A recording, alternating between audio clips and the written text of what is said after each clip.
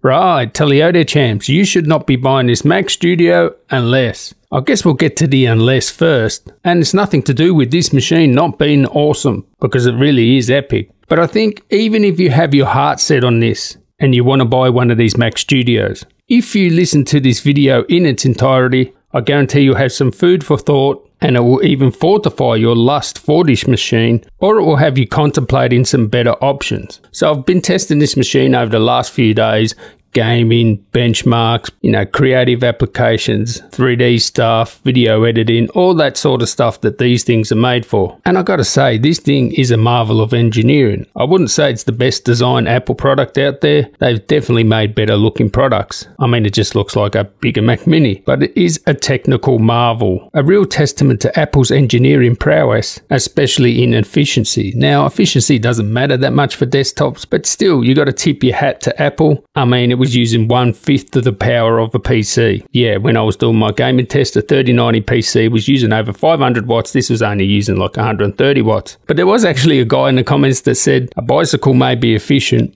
but can it tow a boat? Well, this can probably tow a boat, but will it tow a boat as good as other stuff? Well, we will discuss that. Now, the performance of this studio is truly impressive. And if you're someone that needs massive amounts of video memory, nothing can touch this, right? So if you're into machine learning, scientific data, folding, maybe 3D stuff where you can use that video memory, I will say it's probably a fraction of 1% of people that would probably do that, but you know who you are this is for you. And there's nothing in the PC land that can touch it. The amount of bandwidth you can give to the CPU, unheard of. And maybe there are some scientific applications that can really make use of that. And you really do need multi-core performance because a single core is going to be the same as the M1 Pro or Max. Well, again, if that's you, this machine's for you. I'm yet to see in the real world for the stuff that most of us use, where the extra bandwidth for the CPU really does make that much of a difference. This studio has six discrete Thunderbolts, and I checked, they're all discrete. Just wow. And aesthetically, it does make mini ITX PCs, which are pretty small, it makes them look like big chungus. And I think also if you just want the best, the fastest Mac and you will only use Macs, this is for you. But I actually had someone in the comments go, for a spec up M1 Ultra Mac Studio, I can get a MacBook Pro and a PC, which made me ponder here. I'm only speaking for myself and this is my opinion, which is neither right or wrong, but um, I'm definitely not giving up my MacBook Pro and PC to get one of these studios.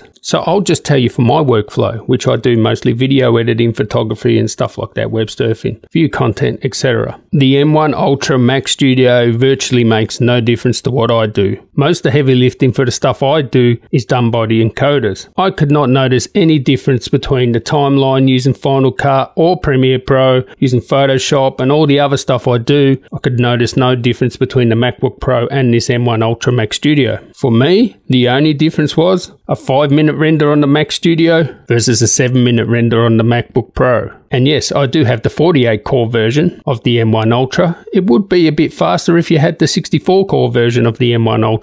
But you know what? another minute faster. So we're talking seven minutes versus four minutes render. It ain't going to make that much difference to my world. And when I look at the Mac Studio, the pricing of it, when you get the M1 Max version of the Mac Studio and then you add a high quality display to it, the price between the Studio and the MacBook Pro 16 or 14, whatever, if you get the M1 Max version of those laptops, is very comparable because you need a HDR display, don't you? I think the studio display is good because of its size, but it doesn't compare to a mini LED HDR display on the MacBook Pro. So for me, it's a no-brainer. Just get the MacBook Pro, unless you've already got a monitor and you're just wedded to having like a desktop rather than a laptop. So that means for me, you got to get the M1 Ultra version of the Mac Studio. So the price difference is insane. So here's the deal. We're talking about desktops here, and these are professional desktops. You even get the black Apple sticker, which means it's proper pro. So we should be comparing it to workstation professional desktops. And if you're going to do that and you're going to get the M1 Ultra, you're going to want the best SSD speeds, right? Did you know if you have the 1 or 2 terabyte version of the Mac Studio,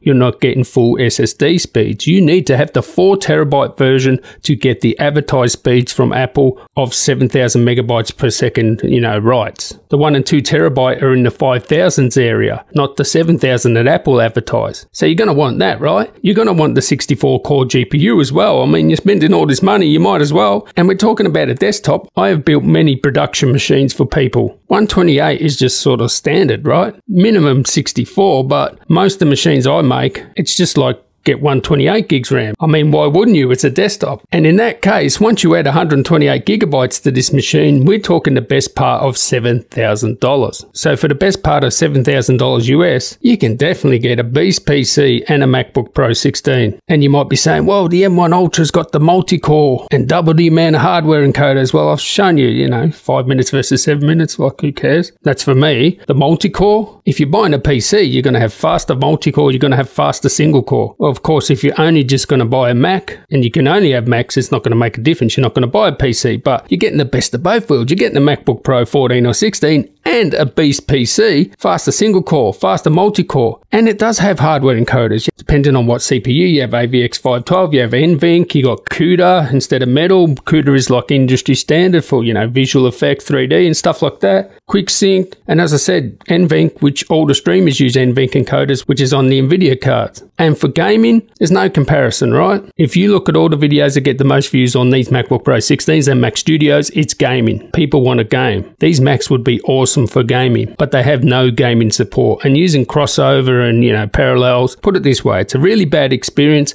And for me personally, I would rather put out a campfire with my face than actually use one of these Macs as a primary gaming machine using crossover or parallels. Like, that is a bad experience. And if you're going to talk about the M1 Ultra versus the, you know, know, the best PC. Here's the truth. You have to work out what's better, right? There are some things that the M1 Ultra will smash the PC in, especially some of the niche things like being able to have 128 gigabytes of RAM, memory bandwidth, the encoders. But again, remember, PC have more diverse encoders, as I mentioned before. But there will be things that the M1 Ultra will smash the PC. But that works the other way around too. There are things that a good PC will absolutely crush the Ultra. You need to work out what's better for you. But for me, best of both worlds. Have a MacBook Pro 16 or 14, whatever, and a Beast PC. That will fit into $7,000, no problem. And again, you'll be going, well, what about my multi-core, etc. See, we'll have faster single core, faster multi-core. I don't see which way you're losing. Now, choosing just one computer, a PC over an M1 Ultra, you're just going to have to look up what's faster for you. But given that budget of 7000 which I think you need to really get the most out of this Ultra Mac Studio, be buy, be curious, swing